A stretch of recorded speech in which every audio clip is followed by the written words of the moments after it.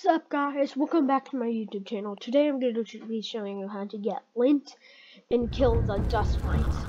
So dust mites are good for your hunter arrows. So yeah.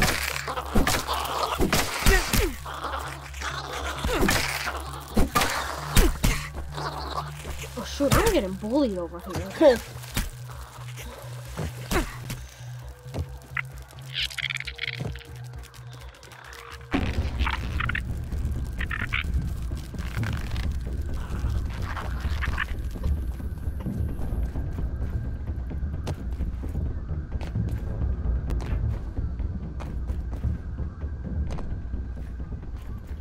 What's that?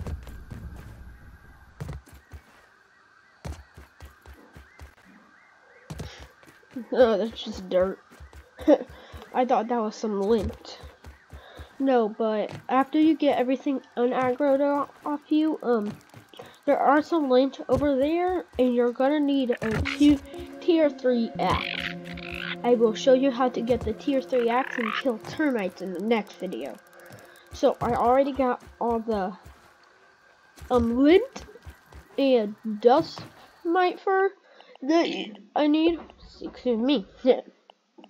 So come on, lint rope. You need six, and they are for this. So I already got the helmet, and I already got the.